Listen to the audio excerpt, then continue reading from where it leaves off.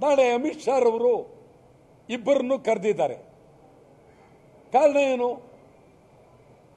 ಹೋಗ್ಬೇಕಾಗಿಲ್ಲ.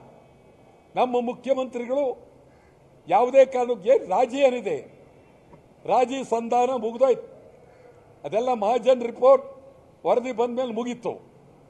ಮತ್ತೊಂದು ಸುಪ್ರೀಂ ಕೋರ್ಟ್ಗೆ ಅರ್ಜಿ ಹಾಕಿದ್ದೀನಿ ರಾಜಿ ಸಂಧಾನ ಪ್ರಶ್ನೆ ಇಲ್ವೇ ಇಲ್ಲ. ಆ ಪ್ರಶ್ನೆನೇ ಇಲ್ಲ.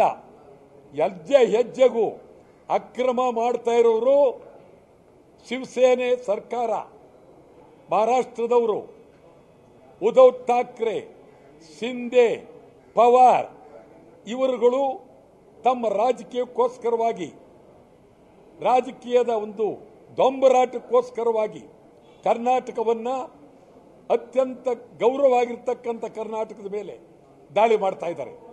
ಒಳ್ಳೆಯದಲ್ಲ ಸುಪ್ರೀಂ ಕೋರ್ಟ್ಗೆ ಕೇಸ್ ಹಾಕಿದ್ದೆ ಅಕ್ರಮ. ಹಾಕ್ಬಾರ್ದು. ಹಾಕ್ಬಾರ್ದಿತ್ತು. ಆ ರೀತಿ ಸುಪ್ರೀಂ ಕೋರ್ಟ್ಗೆ ಹಾಕೋದಾದ್ರೆ ಎಸ್ ಆರ್ ಸಿ ರಿಪೋರ್ಟ್ ಬೇಕಾಗಿರಲಿಲ್ಲ. ಮಹಾಜನ್ ವರದಿ ಬೇಕಾಗಿರಲಿಲ್ಲ. ಈ ವರದಿಗಳಿಗೆ ಗೌರವ ಏನು? ಒಂದ್ ಕಡೆ ನ್ಯಾಯಾಧೀಶರುಗಳನ್ನು ನೇಮಕ ಮಾಡೋದು ಮಹಾಜನ್ ವರದಿಗೆ ಅಂತೇಳಿ. ಮತ್ತೊಂದು ಕಡೆ ನೇಮಕ ಮಾಡೋದು S R C report. S R C report, Mahajan court report, ಇವನ್ನೆಲ್ಲ ಕಸಕ್ಕಾಕಿ ಈಗ ಸುಪ್ರೀಂ ಕೋರ್ಟ್ಗೆ ಹೋಗಿದ್ದಾರೆ. ಸುಪ್ರೀಂ ಕೋರ್ಟ್ ಮನವಿ ಮಾಡ್ತೀನಿ. ಗೌರವವಾಗಿ ಮನವಿ ಮಾಡ್ತೀನಿ. ಸುಪ್ರೀಂ ಕೋರ್ಟ್ಗೆ ಯಾವುದೇ ಕಾರಣಕ್ಕೂ ಈ ಅರ್ಜಿಗೆ ಮನ್ನಣೆ ಕೊಡಬೇಡಿ. ಅರ್ಜಿಯನ್ನು ವಜಾ ಮಾಡಿ.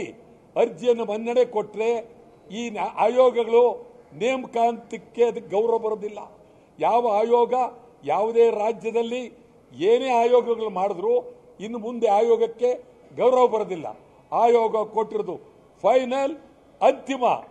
ಹಾಗಾದ್ರೆ ಇದಕ್ಕೆ ಇದಕ್ಕೊಂದಾದರೆ ನಾಳೆ ಕಾವೇರಿಗೆ ಬರುತ್ತೆ, ನಾಳೆ ಈ ಕೃಷ್ಣಾಗೆ ಬರುತ್ತೆ ದೊಂಬರಾಟ ಆಗುತ್ತೆ.